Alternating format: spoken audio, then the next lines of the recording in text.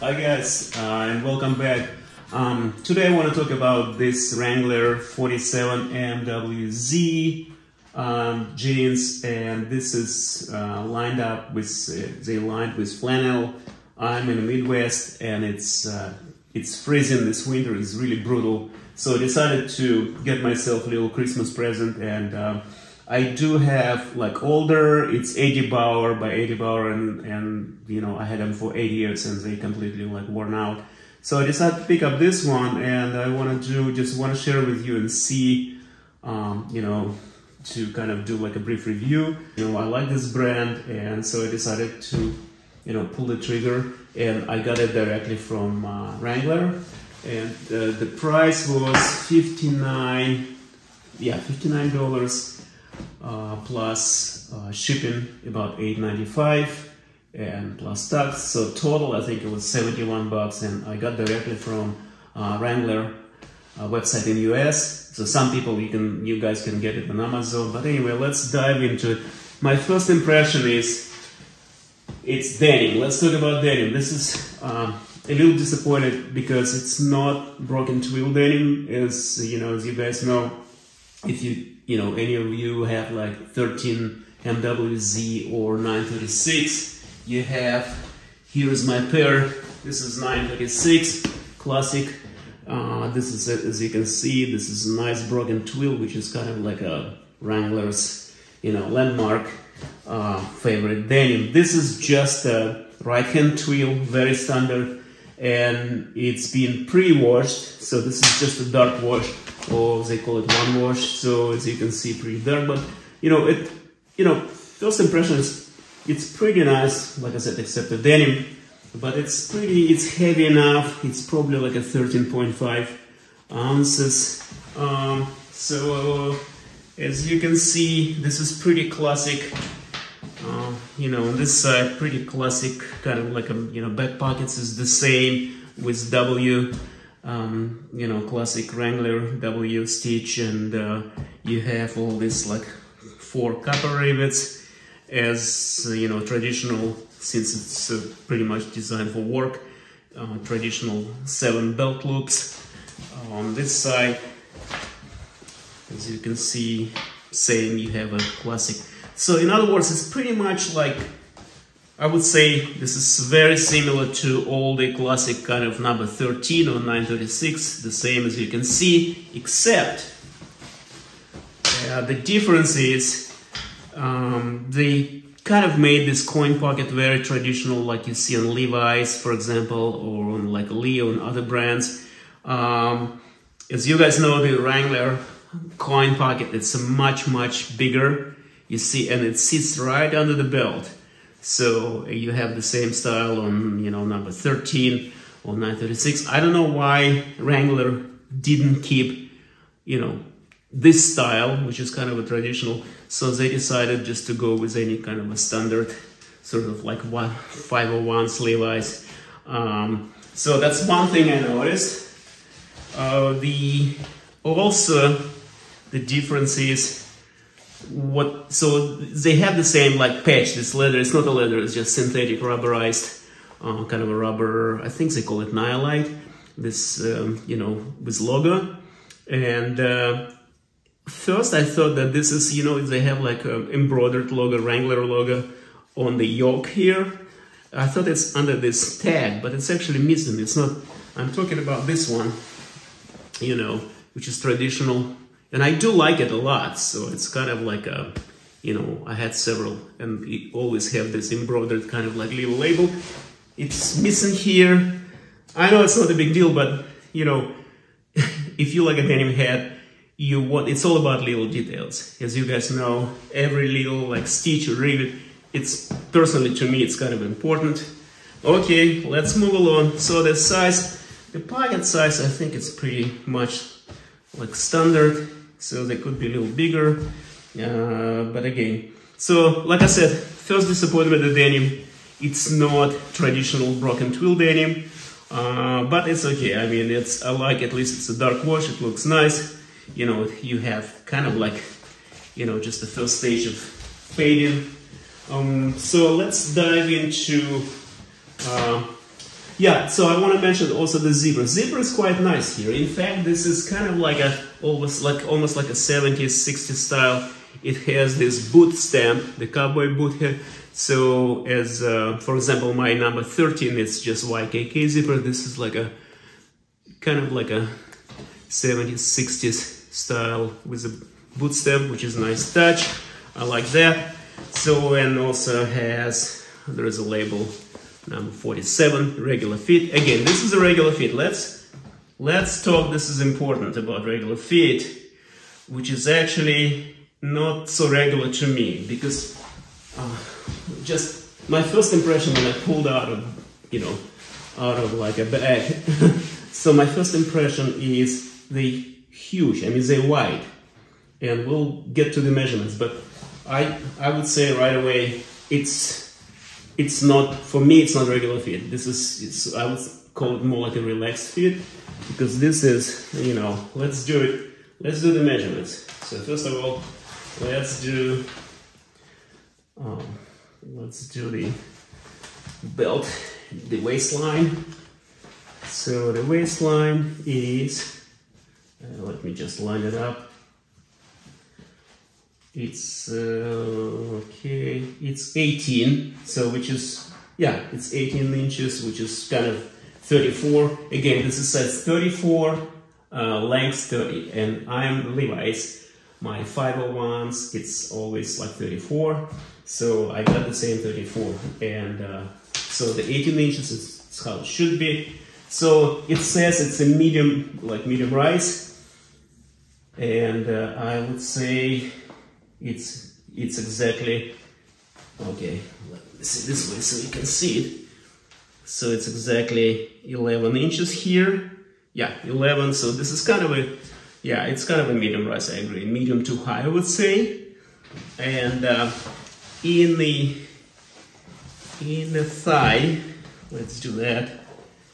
Okay in the thigh it's 13 13 and a half. Wow, that's pretty, pretty wide.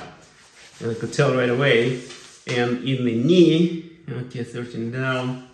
So in the knee, okay, it's a 10 inches. This, this pant's gonna be huge on me, I'm serious. So this is like, we're gonna, you know, first of all, when I put them on, you will see, you know, like at the end of this video, you will see the, the you know, I will, you know, will run a little like a quick fit video so you will see how they fit on me. At, at the bottom at the bottom hem is it's eight and a half like 8.75 I would say.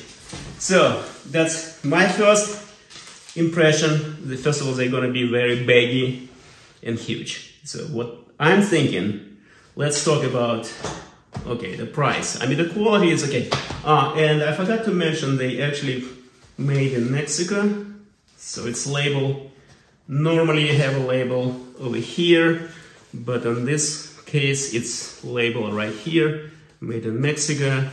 Uh, the stitches also you know since it's lined up here i could not tell if it's a chain stitch or not. I would presume that this is a chain stitch underneath.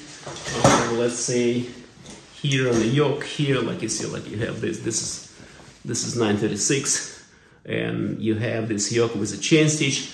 I presume that's most likely underneath this is a chain stitch, hopefully. So the inseam, it's a single stitch and, and it's a double outside. So let's talk about, this is actually important about inside seam the thing is, what you could do, I, I don't think I'm gonna leave it, you know, there's two ways, for, for personally for me. I'd rather just return them or, you know, the second choice is to alter this, to go to professional alterations or do it yourself. So when I put them on, there's two things, they're huge, they're very baggy. What you could do, since it's a single seam in here, and it's pretty easy actually to take off about I would say about an inch and a half because it's probably like if you compare it to other styles you need in the knee you need probably about like eight and a half, nine inches. So you have to shave off at least one inch, one and a half inch. You can do it pretty easy, you know, if you have a sewing machine. I might even do the video about this. it's fairly easy. So you can simply run it and you can make it even your, you know, if you have a, if this like rise is too high for you, you can actually even lower it, make it a little lower rise. So you can leave it, if you can just run it here and all the way across it, just one long, long, long, gonna be one. It's, it would take you probably like 20 minutes to do it in the sewing machine, half an hour, or you go to alteration shop and uh, mm, let's say you're gonna pay probably 25 bucks. So if this one is like, let's say it's a 70, you know, 71 plus 25, it'll be total about like what, less than 96 dollars. It's still less than 100 dollars. You're gonna have a pretty nice winter, you know, pants with an exception that, you know, you have to spend some time to alteration. About this lining, so two things. Uh, first, it's um, you know, it's it's not a super warm. I would say this is not like a fleece. They're probably the one with. I think a Wrangler has a model with a fleece. This one is, but I'm not sure it's uh, the one with fleece. It's a 47 style. This one is pretty thin and uh, it's it's not very fast. I think what I'm trying to say is no, I don't think it's going to be very warm. Also, I'm thinking is yeah, I wish there would be some kind of like a a little more contrast flannel, different color, like a red, sort of like my sort of like my shirt. It would be nice when you like cuff it up. And this one you hardly can see it when you cuff it up. So second thing, I did not mention this, and this is most important. When I measure it in the seam here, inside seam, they much shorter, almost an inch shorter. So they're supposed to be 30 inches length, I guess when they wash it in the process of washing, they shrunk. I don't know if they um, took it in consideration, but this is something for you guys to consider because when I put them on, I usually like to cuff it up. When I get like a, you know, 30 inch length, so it would be, I have at least a couple inches extra to cuff it up. This one is just, you know, there's no space, they're just too short. There's not enough length for me to do it like a cuff style. So that's one disappointment. This is 29 lengths. Um, trust me, I measured uh, it's supposed to be 30. Sometimes actually Wrangler does like extra length, like a half an inch, a quarter inch. This one much shorter, like an inch shorter. Just keep that in mind if you order. So otherwise, I mean, I'm kind of a struggle because it's, you know, on one hand, it's a pretty nice I would say that they would look much nicer than my Eddie Bauer, um, but with this alteration headache, so I might so take a chance and maybe try to do alteration myself because I usually don't, you know, when I go to alteration shops, they never, I never satisfy, they never do like a good job, and uh, um, I've done quite a few times just the length. It's pretty easy on sewing machine but I'm pretty sure I probably can, can do this job. Uh, you know, just one long single stitch. And the only thing you would have to, um, you would have to do like overlock. So you see like this one, you actually can make it pretty nicer. This is like, I, I'm not sure why, why is it done with like a white thread. It's kind of weird. So anyway, this is it. I think we, I covered pretty much everything like I said, there's a few things I'm missing. Like you know, it's it's a different. It's kind of weird. It's a mixture of 501s and with traditional stuff. I'm kind of you know strange that they changed the coin pocket style instead traditional like a much larger you know like when you have like Wrangler like number 13 and number 936 but it's okay it's not a deal breaker otherwise they could be good jeans and uh, you might get probably cheaper on Amazon. And uh, again, this is 3430 uh, style number 47, 47 MWZ. Purchased here in the US from Wrangler. Um, but I think that's just way, way too uh, loose for me, too baggy, and uh, um, just keep in mind, guys, if you get it, unless you like this style of kind of relaxed pants, so keep in mind, if you get it, you probably have to alter them. Personally, I probably will, and if I will do alteration myself, I definitely gonna do like, like a separate video for that.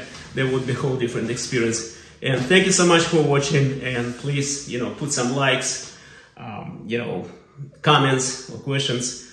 Um, I always would be happy to answer. Thank you.